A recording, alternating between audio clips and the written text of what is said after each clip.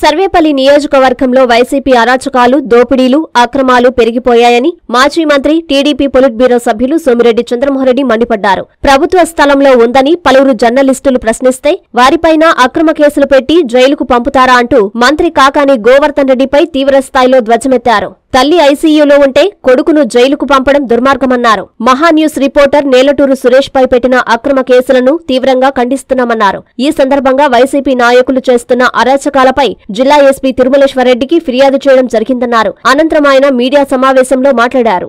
సర్వేపల్లిలో అరాచకాలు పెరిగిపోయినాయి. రోజుకి ముగ్గురిని ముగ్గురు మీదకి మూడు కేసులు ఆరు దోపిడీలు. రోజుకి మూడు కేసులు ఆరు దోపిడీలు అయిపోయినాయి. జిల్లా పరిస్థితి కూడా అట్టే ఉంది. జరిగింది ఏంటంటే Nelaturu Srinivasudu Maha News reporter. Maha News reporter. మంత్రి ఆ నేలటూరుకి పోతే నేలటూరుకి పోతే ఒక మత్స్యకారుల మహిళ మంత్రిని అడిగింది.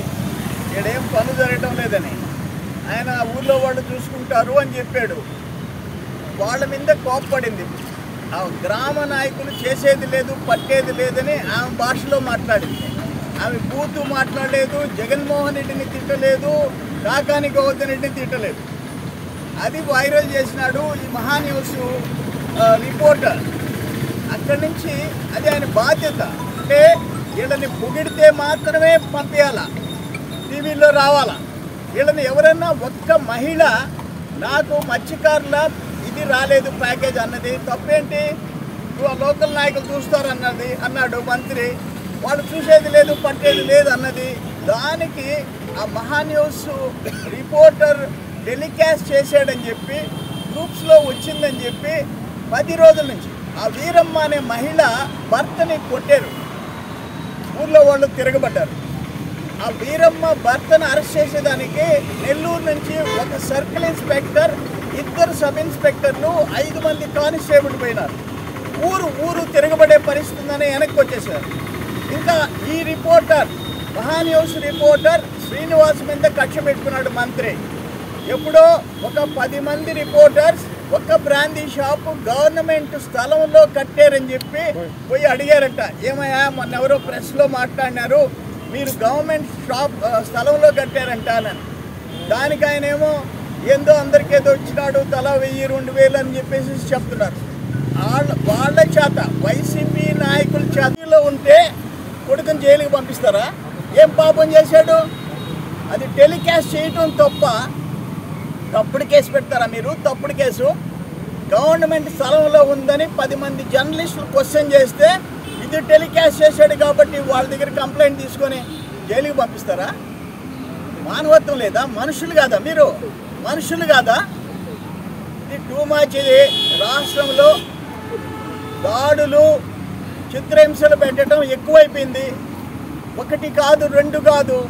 ఇప్పుడు ఆ రాజేంద్ర వాళ్ళ ఐదు మంది ఐదు మంది జైల్లో ఉన్నారు. ఇరవై ఐదు రోజులు అయిపోయింది. మా పార్టీలో చేరాడు. వైసీపీలోంచి మా పార్టీలో చేరాడు. అందుకోసం అతని మీద తప్పుడు కేసు పెట్టారు. వెంకటాచలం సర్వేపల్లి కాన్స్టిట్యున్సీ.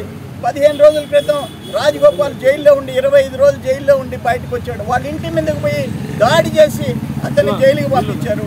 ఎన్ని కేసులు పెడతారు? ఈరోజు శ్రీనివాసుని పంపిస్తున్నారు. సర్వేపల్లి ఒక నరక కూపం. సర్వేపల్లి నియోజకవర్గం ఒక నరక కూపంలా తయారైపోయిందంటే ఏమని చెప్పాలా? మాకు అర్థం కావటంలే. సర్వేపల్లి నియోజకవర్గం అంటే యోధాని యోధులు స్వర్ణ వేమయ్య వేమారెడ్డి వెంకరెడ్డి వంగళ్ళు ఓ కోదండరామిరెడ్డి పెద్దవాడి గోపాల్ రెడ్డి ఎంతమంది హేమా హేమీలు అక్కడ ఎమ్మెల్యేలుగా ఎలక్ట్ అయినారు. ఎప్పుడన్నా ఇటువంటి పరిస్థితి ఉందా అంట ఆదాలు ప్రభాకర్కి ఉన్నాడు. ఎవరున్నా ఇటువంటి పరిస్థితి ఉందా? సివి శేషానికి ఉన్నాడు. ఒక్క కాకాని గోవర్ధన్ రెడ్డి దుర్మార్గాలు. ముగ్గురిని చంపిన ఎస్ఐని నీ దగ్గర పెట్టుకుంటావు ముగ్గురిని చంపిన వెంకటాచలంలో ఇద్దరిని చంపి అక్కడ పొదలకూరులో చంపి చెట్టుకి ఎలాంటి తీసిన అతన్ని నీ దగ్గర పెట్టుకొని ఉండవు. ఇంతకంటే ఘోరమైన ఏ సినిమా తీసి చూపించడం?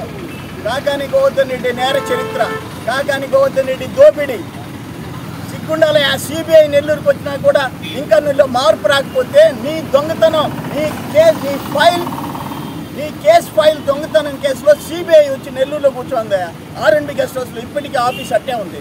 పర్మనెంట్ ఆఫీస్ ఓపెన్ చేసుకోవాల్సిన పరిస్థితి వచ్చింది నీ వల్ల. ఇంకా నీకు ఇంకా బుద్ధి మారలేదా? ఇది దారుణం ఇది నేను జర్నలిస్టులు అందరూ జర్నలిస్టులు అందరూ ఐక్యంగా పోరాడాల్సిన సమయం ఆశయం.